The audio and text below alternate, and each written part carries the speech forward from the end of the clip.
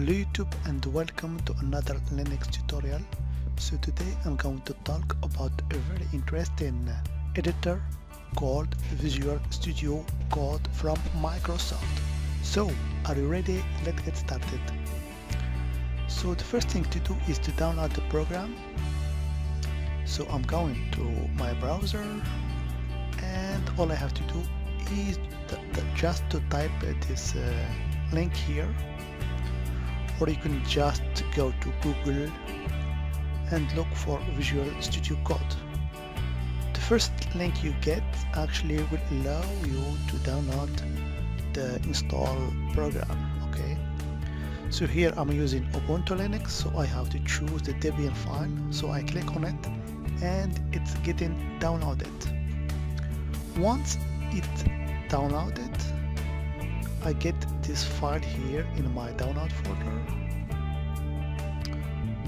As you can see here the file is called code 1.8.1 so there are two methods if, if you want to install the Visual Studio Code. You can just double click on this file here and you get redirected to the Ubuntu software. So you can just hit this button here and it will be installed. The second method is you can just go to your console like here and go to your download folder and you have to type uh, this command here. Okay sudo dpkg minus i which stands for install and the name of the file you just downloaded. Okay so I'm gonna use this method because it's more convenient so the package is going to be extracted and installed. So it will look for the dependencies and all the files required for the install to complete. Okay now it's installed. So after that I go to my search and all I have to do is just to type visual and I get this icon here.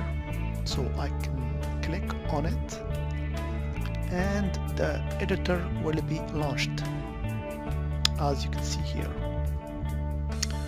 I can even click here in this icon and lock it to the launcher so it will be available all the time in this launcher here. Okay. So as you can see here it has a very simple interface with some buttons or links in the left bar here. As you can see it has Git integration. We will talk about that. It's actually a control version system. It's very powerful so we'll talk about that later. And it has also some debugging features.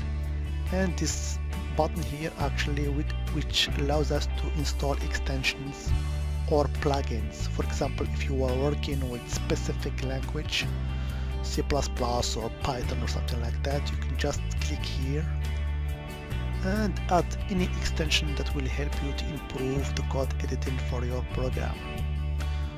Okay so you can here you see a lot of extensions or plugins for different languages so you can install later okay? So I will just open this test file here which is, which is HTML file so I can just open a file and go just to see how it looks. So it's a simple HTML file as you can see. So actually Visual Studio Code is open source program free and cross-platform so you can install it in Linux and Windows of course because it's Microsoft product or in Mac OS and it has some great features that we'll talk in the upcoming uh, videos.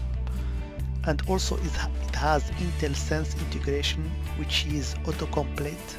So it will autocomplete some code for you. For example here for the style for the background color I can just remove that one. As you can see here it gives me a lot of other colors and at runtime so it, it will help me to find out which color I can choose. For example I can choose blue or wood if I want.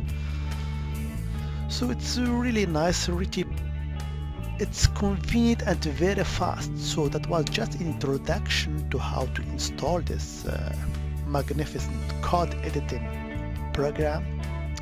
I hope it was interesting for you and I would like to thank you for viewing. Bye bye